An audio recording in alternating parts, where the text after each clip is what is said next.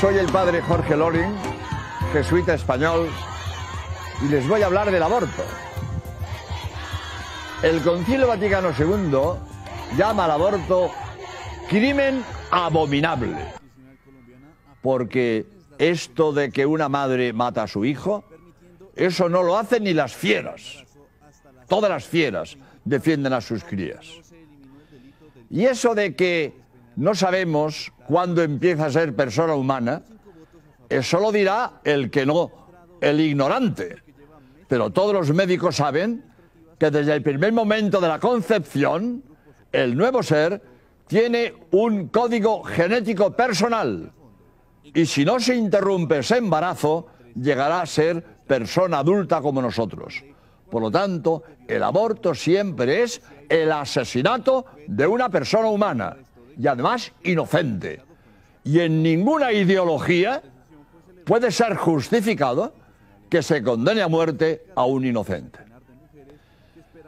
Y aunque las leyes permitan que las madres maten a sus hijos, el remordimiento de conciencia de esa mujer que ha matado a su hijo le acompañará toda su vida.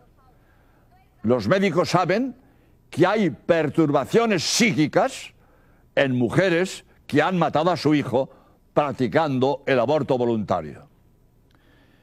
Y me voy a sentir profeta, me voy a sentir profeta. En el futuro los estados entrarán en razón y se prohibirá el aborto en el mundo entero. Y las generaciones futuras nos llamarán generación asesina y no entenderán que en nuestra generación los estados den permiso para que las, para que las madres maten a sus hijos. Esto es inconcebible en una persona humana con sentido común.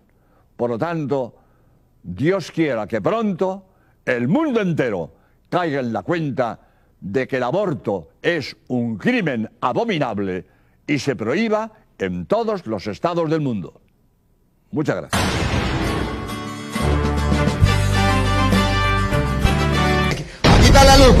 Me padre me trae una lupa. Siga al padre Luis Toro en las redes sociales. En YouTube suscríbase y active la campanita e invite a otros a formar su fe cristiana con la palabra de Dios.